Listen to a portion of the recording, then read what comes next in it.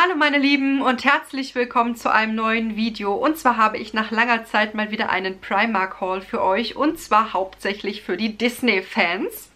Es ist sehr, sehr viel Disney geworden dieses Mal. Es ist eine volle Tüte und dann habe ich noch eine nebendran stehen. Also es ist noch einiges geworden. Ähm, und soweit ich weiß, ist auch alles noch ähm, zu haben. Also ich war neulich nochmal bei Primark und habe eigentlich alles noch im Laden gesehen. Also das gibt es auch aktuell noch zu kaufen. Ja, und ich bleibe jetzt einfach hier vor meiner Couch sitzen. Ich wollte mich eigentlich vor eine andere Kulisse setzen, aber mir läuft die Zeit davon und ich habe heute sturmfrei. Mein Mann ist mit den Kids bei der Schwiegermutter und heute habe ich endlich, endlich Zeit, wenigstens mal ein oder zwei Videos zu drehen. Also viel Zeit habe ich nicht, aber ähm, wenigstens den Primer Call möchte ich durchbekommen, weil ich will die Sachen endlich waschen und anziehen. Deswegen, ja, würde ich sagen, wir starten auch gleich. Und zwar habe ich mir als erstes Geschenkpapier mitgenommen. Und zwar dieses hier einfach Silber Hochglanz mit ähm, Minimäusen drauf. Ich fand es total cool und ich bin schon mehrfach dran vorbeigelaufen und habe immer gedacht, nein, du brauchst das nicht, muss nicht sein. Aber jetzt habe ich so viel Disney eingepackt, da habe ich gesagt, komm, was fällt jetzt das Geschenkpapier noch ins Gewicht, nimm's mit. ja, und es hat 2,50 Euro gekostet und ich habe es mir zweimal mitgenommen. Ich werde es allerdings ähm, zu dem anderen Geschenkpapier erstmal legen. Aktuell brauche ich es nicht, bei uns ist die Geschenkesaison für die Kinder jetzt erstmal rum. All unsere großen Geburtstage äh, fallen in die zweite Jahreshälfte und Weihnachten ist auch vorbei. Deswegen, ähm, ich werde das jetzt erstmal horten für nächstes Jahr, aber ich wollte es unbedingt mitnehmen, denn ich finde es richtig, richtig schön. Ja, dann habe ich noch was Dekoratives gekauft und zwar eine Lichterkette. Eine 40er LED-Lichterkette in Knalle Pink. Ich weiß noch nicht, was ich damit machen soll. Mm, die ist ich glaube 4,1 Meter steht da. Kabellänge, 4,1 Meter. Ja, auf jeden Fall ist die für Indoor. Und ich weiß noch nicht genau, wofür ich sie eigentlich haben will. Entweder für einen unfassbar kitschigen Weihnachtsbaum, den ich nächstes Jahr aufstelle. Also so einen kleinen 90er Baum, so ein kleiner Dekobaum. Nicht unser Hauptbaum. Oder für Annabels Küche, weil die momentan total auf Lichterketten steht und überall Beleuchtung hinhaben möchte. Deswegen habe ich die mitgenommen. Die hat 3,50 Euro gekostet. Und ich habe jetzt mal ganz schnell schon mal meine Akkus reingetan, damit ich euch die zeigen kann. Ich denke, die wird krass pink sein. Schauen wir mal. Ja. Ja, doch. Relativ lang. Schauen wir mal.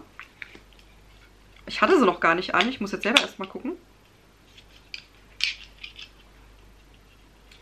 Oh. Oh ja, die ist wirklich knallepink. ja, die habe ich mitgenommen. Ich weiß noch nicht, ob die in den Baum kommt oder ob ich die wirklich für Annabels Küche nehme. Ich habe keine Ahnung. Weil pinkes Kabel.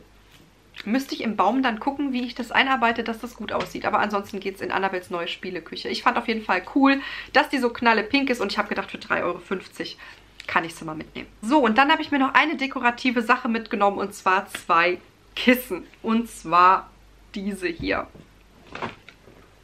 Mit Mickey Mouse. Das ist so cool.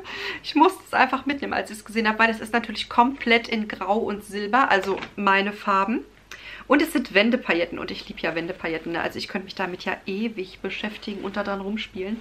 Die sind einmal in glänzend Silber und einmal in diesem matten Silber. Also richtig, richtig schön. Ich finde das so, so cool. Und dann eben noch Mickey Mouse, weil Mickey Mouse ja 90 geworden ist. Und es steht auch hier unten drauf. Mickys 90. Geburtstag, also im Prinzip Mickys 90. Jubiläum. Ja, musste einfach mit. Und das Kissen ist 40 x 40 und hat ähm, 9 Euro gekostet. Und es ist auch mit äh, Reißverschluss, das heißt, man kann es auch waschen. Und ich habe mir das, wie ihr sehen könnt, zweimal mitgenommen. Habe mich total verliebt, musste einfach mit. Dann kommen wir jetzt mal zu den Klamotten. Und zwar habe ich diesmal hauptsächlich was für mich gekauft. Die letzten Mal habe ich eigentlich nur für die Kinder gekauft. Und diesmal habe ich tatsächlich hauptsächlich für mich was eingetütet. Ja. Und ähm, es gab so viele Disney-Klamotten und eben auch so Disney-Jogginganzüge. Und ich liebe ja die Jogginganzüge. Ich mag das total gerne. Die sind super weich und bequem. Und ja, jetzt so mit den Kids zu Hause ist es natürlich immer toll. Und ich habe mir tatsächlich zwei Sets und eine Jogginghose extra mitgenommen. Und zwar habe ich mir diese Hose hier mitgenommen. Einfach in knallerot und überall steht Disney drauf. Und ich mag ja auch, dass diese Hosen unten dieses Bündchen haben. Also ich mag das. Ich mag das nicht, wenn die kein Bündchen haben und immer so hochrutschen. Und die kann man auch enger schnüren. Es sind überall so dicke, fette Schleifen dran. Also richtig, richtig cool. Und es gibt auch Anhänger. Ein Disney-Anhänger, wo drauf steht, ähm, für wen man das gekauft hat. In dem Fall, dass man das verschenken möchte.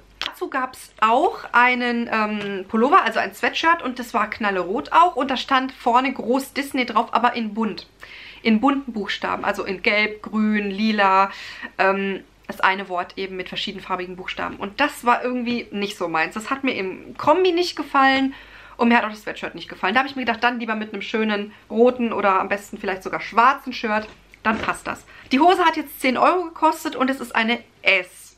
Ja, ich habe sie mir erst in M geholt und habe sie umgetauscht, weil in M war sie an den Beinen auch schön locker. Die in S sitzt jetzt halt ein bisschen enger an den Beinen.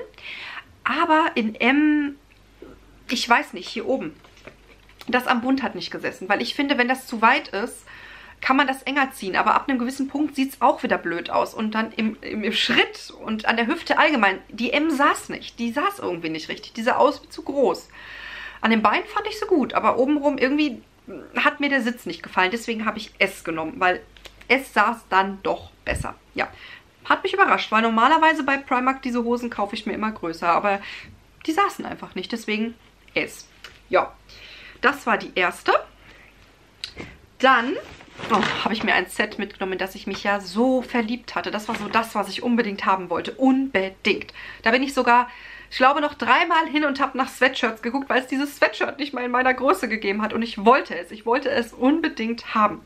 Und zwar die Hose sieht so aus. Und zwar Susi und Strolch. So sieht die Hose aus. Ich finde die so schön. Ähm, wer mich kennt, ich liebe Susi und Strolch. Ich liebe den Film. Das ist mein Lieblings-Weihnachtsfilm. Auch wenn es eigentlich kein Weihnachtsfilm ist, aber er beginnt zu Weihnachten, er endet zu Weihnachten und es ist diese kitschige Weihnacht, die amerikanische Weihnacht, der Schnee, die Pferdekutschen, die Bäume in den hohen Fenstern dieser Villenviertel. Also einfach so, so schön. Ich liebe Susi und Strolch. Und als ich das gesehen habe, musste ich die haben, weil ich eben auch dieses zarte Puderrosa so hübsch fand. Und dann eben auch, dass die Hose wirklich so bedruckt ist mit Susi und mit Strolch. Nicht bunt, nicht kitschig, nicht so komische Prints, die sich ablösen, sondern richtig, richtig schön. Also ich habe mich so in diese Hose verliebt. Ich musste die haben. Habe die auch in S mitgenommen. Hat übrigens auch 10 Euro gekostet. Und dann das Sweatshirt dazu. Das wollte ich halt unbedingt haben. Und das gab es nicht. Das gab es nur noch in XS. Und das war nix. ja, und dann ähm, hatte ich auch die Verkäuferin gefragt und sie hat gesagt, sie kriegen das nochmal rein. Und ich habe dann dreimal geguckt und dann war es endlich wieder da. Und zwar sieht es so aus, das habe ich euch auch schon mal in einem Vlog gezeigt. Ich finde das total schön. Eben, weil es auch nicht so ein Print ist, der sich ablöst. Ich mag diese Prints nicht so gerne. Das sieht immer so ein bisschen billig aus, finde ich. Und die lösen sich halt auch manchmal beim Waschen. Das mag ich nicht. Und das ist wie so eine Tuschezeichnung. Das finde ich richtig schön, weil die hat noch einiges von Susi und Strolch, wo die beiden so richtig bedruckt drauf waren und das fand ich dann wieder irgendwie kitschig. Das hat mir nicht gefallen, aber das, eben weil es nur so gemacht war, fand ich richtig schön. Ja, und dann noch die goldenen Herzchen dazwischen. Ich fand das so hübsch, also richtig schön. Und ich habe mir die Pullover tatsächlich in XL genommen. In L ging auch, aber ich fand sie in XL irgendwie besser, gerade weil die Hosen bei mir ja auch etwas enger sind, habe ich gedacht, nehme ich so richtig schön groß die Pullover mit und habe mich für XL entschieden und ich bin so froh, dass ich den habe. Ich liebe den so sehr und ich freue mich, dass ich den jetzt waschen und endlich anziehen kann. Ja, und dann habe ich noch ein Set mitgenommen. Da kam ich auch nicht dran vorbei, weil die Farbe so schön war. Ja, und zwar Minnie Maus. Ich habe mir Minnie Maus mitgenommen. Ähm, und zwar diese Hose hier. Ich fand die Farbe so hübsch. Und dann steht hier nochmal Mini drauf. Minnie Maus mit einem Print. Also das ist einfach dieser Print, den ich eigentlich nicht so mag. Aber bei der Hose bin ich schwach geworden, weil ich die so süß fand und weil ich halt die Farbe auch richtig, richtig schön fand. Hat mir richtig gut gefallen. Musste mit. Auch 10 Euro. Und das passende Sweatshirt dazu sieht so aus. Einfach Minnie Maus. Ich finde es total cool. Mir gefällt das gut und ich finde die Farbe schön, weil das ist nochmal anders als dieses Puderrosa. Das ist so ein, ja, das ist so ein bisschen wie so ein richtig schönes Babyrosa mit einem minimalen Touch von Aprikot drin. Also richtig schön. Ich zeige euch das nochmal im Vergleich. Also es ist nicht dieselbe Farbe. Das ist wirklich so ein ganz zartes Puderrosa und das hat für mich so ein Babyrosa mit Aprikot gemischt. Also richtig schön. Gefällt mir sehr, sehr, sehr gut. Und die Sweatshirts haben übrigens auch jeweils 10 Euro gekostet. Ja. Und dann, ach, noch ein Teil aus der Home-Abteilung. Ähm, ich bin schon wieder schwach geworden. Also ich bin, das ist so traurig mittlerweile. Ich werde einfach immer schwach bei den Decken. Bei den Kuscheldecken. Ich finde die so, so hübsch und ich werde immer schwach dabei. Und es gab wieder eine neue, die ich noch nicht gesehen hatte. Und zwar wieder Aristocats und wieder diese Katze Marie. Ich fand das so, so schön. Und ich zeige euch die mal. Da war eigentlich ein Bild drauf, wo die ganze Decke zu sehen war, aber das ist jetzt irgendwie weg. Deswegen muss ich sie jetzt mal auspacken. Und zwar sieht das Ganze so aus. Das ist das Motiv. Also richtig schön. Ich finde das so, so süß. Gefällt mir sehr, sehr, sehr, sehr gut. Ich habe ja schon eine Aristocats in weiß mit Pink. Finde total cool. Und jetzt gab es die nochmal in diesem zarten Rosa und ich finde die richtig schön. Die behalten auch eben nach dem Waschen ihre flauschige Qualität und um Hannah da drin einzuwickeln, finde ich die ganz toll und Annabelle mag die auch und deswegen habe ich gedacht, die nimmst du dir noch mit. Sind auch deine Farben, ne? Grau, rosa, weiß. Die nimmst du dir mit. Die hat übrigens 8 Euro gekostet und die sind ähm, wartet mal. 1,20 mal 1,50. Also nicht die ganz kleinen Deckchen, sondern schon etwas größer. Für Hannah eigentlich noch zu groß. Keiner außer mir kommt mit den Decken klar. Meine Mutter hat sich schon beschwert und hat schon gesagt, hast du nichts Kleineres? Das ist ja riesig. Aber ich mag es, weil immer wenn ich sie dann anders greife oder umlege, habe ich immer noch Decke, die ich oben drüber legen kann. Bei der kleinen Decke dann ist es manchmal so, dass ich mich mit ihr hinsetze, habe sie gerade richtig zum Trinken, aber die Decke ist nicht so passend und dann kriege ich die nicht über sie drüber. Und bei der Decke habe ich die Probleme nicht. Da kann ich sie immer schön einwickeln und wenn ich es dreimal drum schlage, aber es ist genug Decke da. Deswegen, ich mag die sehr gerne. So, dann habe ich noch Hausschuhe gekauft. Ja, es gab natürlich auch Hausschuhe von Mickey Mouse und ich habe sie mir mitgenommen. Einfach in hellgrau mit anthrazitfarbenen Mini, äh, Mini- und Mickey-Köpfen drauf. Also richtig, richtig schön. Eher Mickey, ne? Nichts mit Schleife. Einfach nur der Mäusekopf. Richtig, richtig toll. Und so schön weich und flauschig. Die sind innen auch schon gefüttert. Also ich mag die total gerne.